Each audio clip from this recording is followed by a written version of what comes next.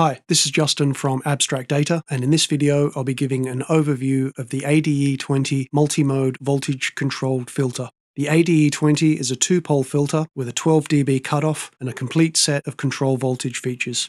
It provides simultaneous low, high, and bandpass outputs, and unique to Eurorack filters, the ADE20 also has an all-pass output for subtle phaser-style effects. The ADE20's resonance can be pushed into self-oscillation and will oscillate beyond the upper and lower ends of the audio frequency range. The ADE20 also features a unique feedback insert which lets you run external audio signals into the resonance feedback path or allows you to create stacked filter types. This significantly increases the sonic capabilities of this filter. The ADE20 has a complete control voltage spec, allowing manual, onboard, and external control over the frequency cutoff and resonance level. There are manual gain and attenuation controls for both the audio and feedback inputs, and there is a dedicated input for the frequency cutoff that scales external CV signals to the 1 volt per octave standard. The ADE20 is an all analog design. The two poles that make up the core of the filter are both based on discrete transistor level electronics. This gives the ADE20 a rich vintage sound that you will only get from analog. The power supply has reverse voltage polyfuse protection on both rails. It fits comfortably into a panel that is 10 HP wide and its shallow build will fit easily into most racks.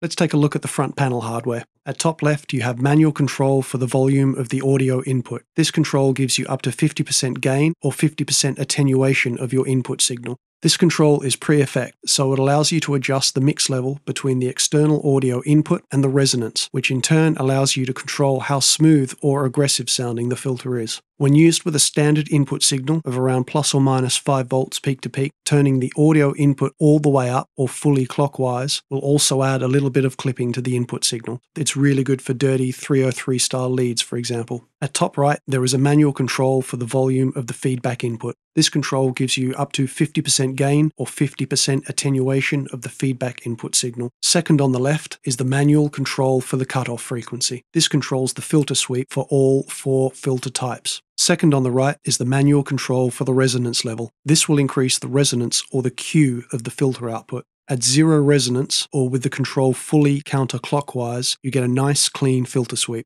Increasing the resonance level will eventually push the filter into self-oscillation. The ADE20 has a nice, fast resonance response, right down to low frequencies, which makes it great for highly dynamic passages and is great for creating filter kicks and subs. Third on the left is the level control for the external CV input, controlling frequency cutoff. And finally, third on the right is the level control for the external CV input, controlling the resonance level.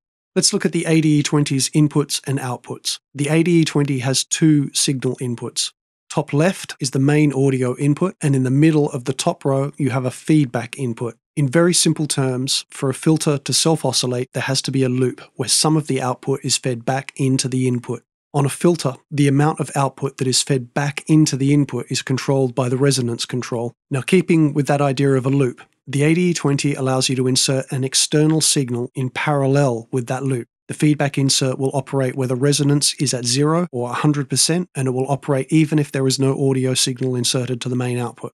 Best of all, it's not limited to just external audio sources. Running the output of one filter type back into the feedback insert while listening to the output of another filter type offers a massive potential for sounds you won't get out of any other filter. The ADE20 has a total of three external CV inputs.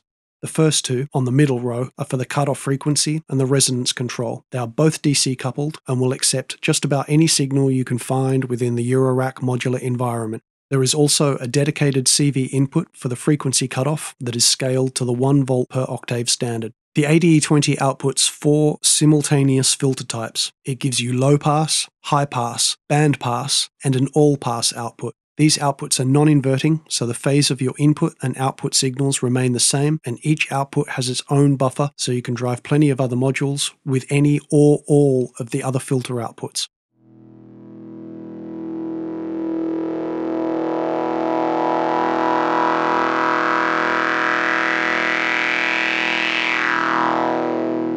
Let's have a listen to some basic filter sweeps.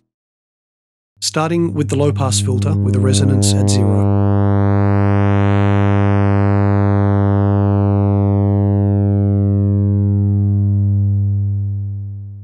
Increasing the resonance slightly.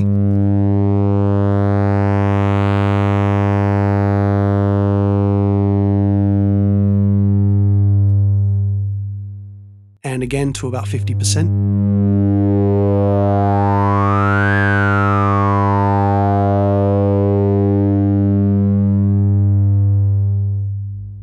and finally with the resonance at 100%.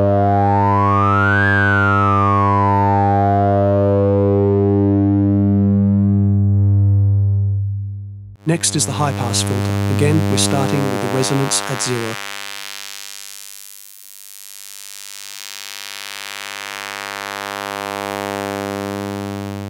Increasing the resonance to about 25%.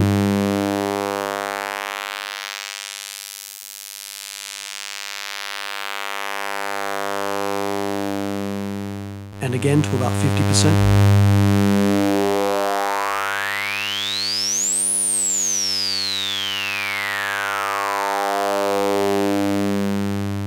And finally, with the resonance at 100%.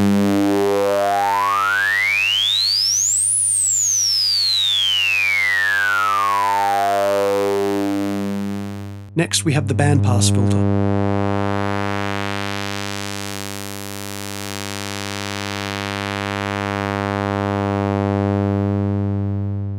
increasing the resonance.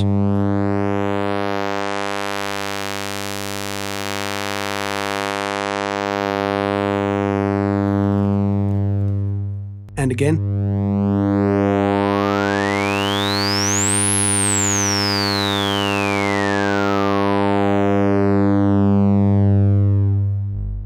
And last, a pass with the resonance at 100%.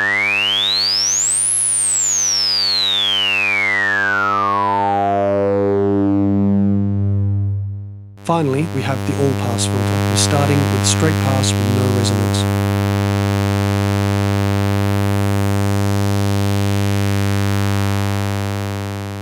A second pass with about 25% resonance.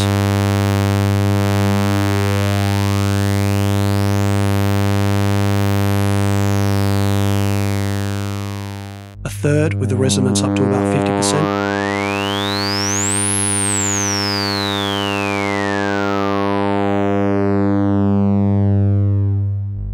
and one last pass at 100% resonance.